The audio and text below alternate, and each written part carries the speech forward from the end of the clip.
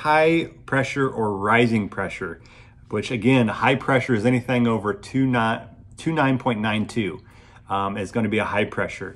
Um, and you have pressure climbing, going up, you know, hitting up into the 30s.